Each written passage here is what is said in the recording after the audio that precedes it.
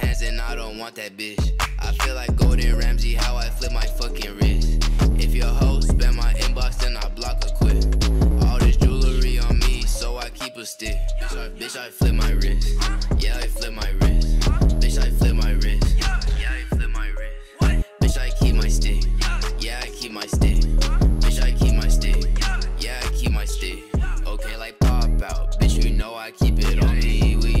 Hello，大家好，我是你们的 boy A 卡探长。大家觉得自己潮吗？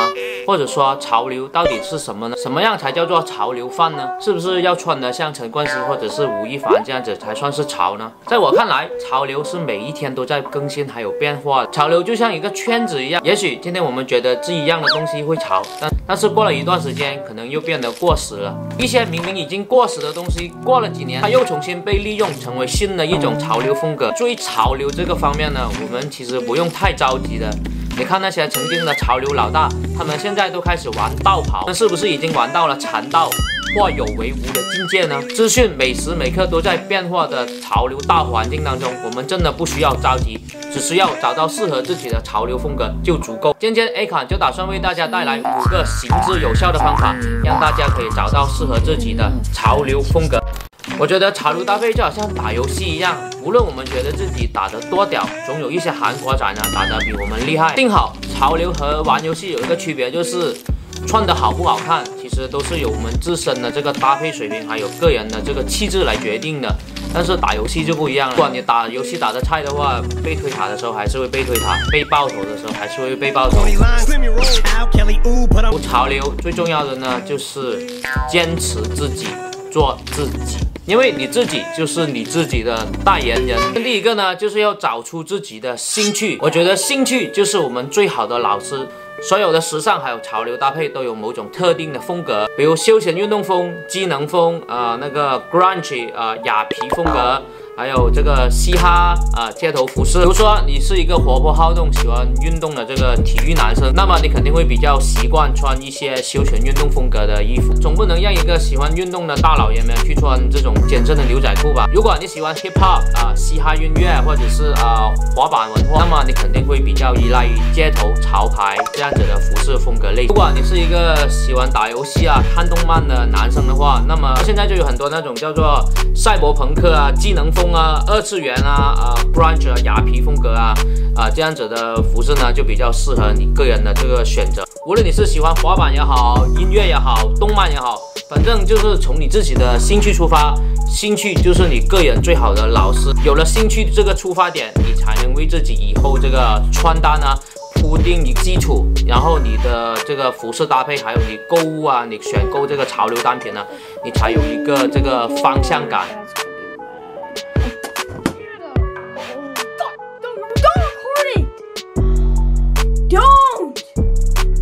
I'm, showing 就是通过衣服来表达自我的方式，呃，因为我觉得时尚潮流搭配其实就是个人特质的一种外在表现嘛，所以你一定要找出自己的兴趣，然后找出一些可以代表你自己的服饰，让你觉得舒服的衣服。所以一切从兴趣出发，If you feel good, you look good。OK，搞定兴趣之后，我们第二步要做什么？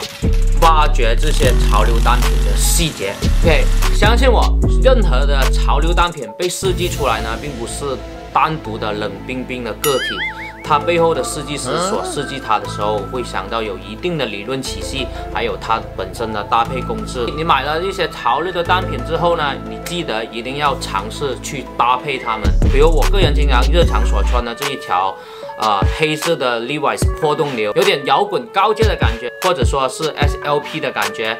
然后呢，这是一条呢，呃，来自于 Off-White 的工业束带，就觉得它身上有非常浓厚的机能风，会给这条裤子带上这个 Off-White 的工业束带。反正两种不同元素的东西呢，我就会把它们搭配在一起。所以呢，呃，搭配是很重要的。买了你的潮流单品之后呢，我建议大家呢，尽可能的去搭配它们。第三个，要学会实验性的试穿。我觉得时尚潮流分分钟让你充满惊喜的同时，也会让你充满了失望。自己晚上看中了一些东西呢，我就会哇。好兴奋，好喜欢，非常的 high up，然后我就会下单啊，购买啊，然后买了之后呢，还要不断的查单号，想知道什么时候能收到，不断的刷新、刷新、刷新，是等待的就是快递小哥的到来。然后快递小哥到了之后呢，我还不会马上去开门，还要等上好几秒，这样子显得我有其他的事情在忙，显得我的生活丰富多彩一点。好兴奋！打开之后，看着也很爽，很满意。但是你一试穿，一穿上，当跑到镜子面前一看。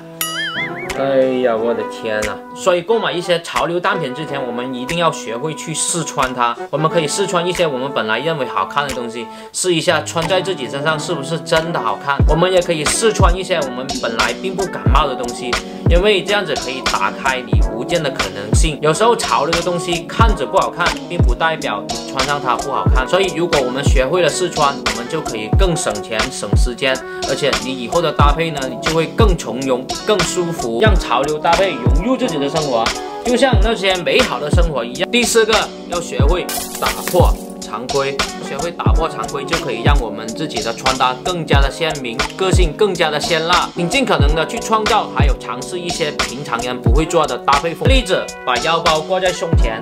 要是在以前的话，很多人就会觉得你很 low，但是现在呢，已经成为了一种流行的搭配方式。因为潮流的东西，除了有创造之外，还有二次被创造的可能性。比如说以前的 Nike Mirage 是一双老爹鞋，曾经所有的年轻人都不会穿这样子的运动鞋，直到侃爷推出了 Yeezy 的700系列之后，所有的老爹鞋鞋款都被抢购一空了。再举一个打破常规的例子，Kanye West 这个门为什么这么火呢？我觉得他火就是因为他勇。于于打破常规，他从来不按常理出牌。作为说唱歌手，他的穿衣风格就和当时的所有的 rapper 是完全不一样。以前的 rapper 穿衣服都比较偏这种。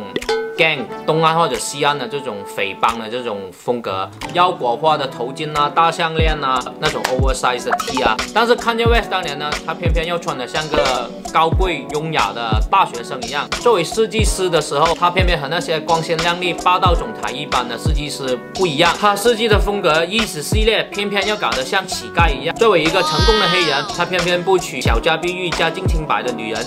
他偏偏要搞卡戴珊啊 Ambrose 啊这样子。作为黑人，他偏偏要，啊，这个就不说了，因为有时候还是要。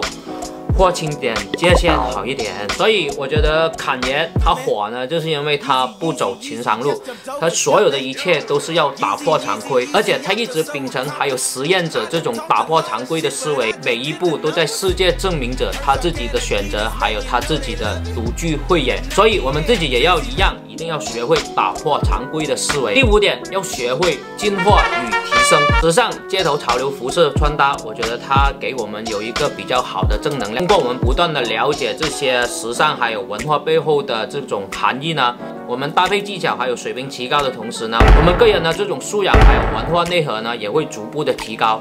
好，所以我们一定要保持谦虚，还有努力学习他人优点的这个习惯。因为我觉得潮流呢，它是瞬息万变的，每一天都不一样，人们的穿搭方式还有穿搭风格也在不断的变化。所以，我们一定要通过研究还有学习他人优良的这种搭配方式呢，来提升自己。这样子，我们在这个潮流的风口里面呢，就会处于。永远的不败之地了。OK，以上这五点呢，就是我为大家总结出来的，找到适合自己潮流风格的方法。如果有人会问，如果我喜欢很多不一样的潮流风格，那该怎么办呢？那我觉得真的是太爽了，多偶制不好吗？所有的潮流风格，我觉得都没有说跟风不跟风这样子的说法的，只有欣赏、模仿，还有去采纳。利用根据我上面的这五个方法呢，去找到自己的兴趣，然后去发掘自己的无尽可能，我觉得是最重要的。然后最后以这个我最近觉得挺挺对的一句话来总结，就是潮流嘛，其实就是量力而行，愉悦自己。希望大家能找到适合自己的潮流风格。好了，我是你们的 boy A 卡康仔，希望大家喜欢这一期的影片，我们下期影片再见，peace。